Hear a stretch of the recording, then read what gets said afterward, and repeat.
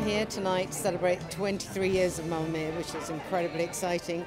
April the 6th, 1999, we opened. It's been quite a journey.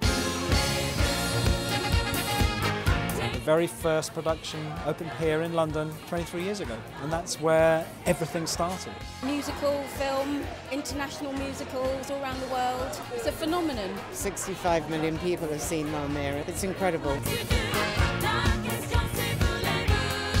The story works on so many levels. People can relate to it really, really well. And also, I think, music. Everyone loves ABBA, everyone loves those songs. If they're going to go into the West End to see a show, people want to go and see something uplifting.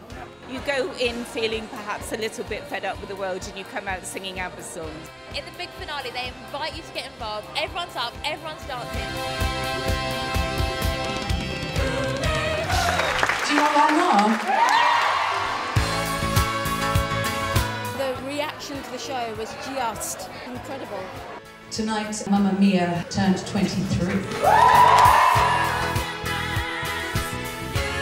Such a feel-good, wonderful story. And you're guaranteed to have a smile on your face, you're guaranteed a party. It's just glorious.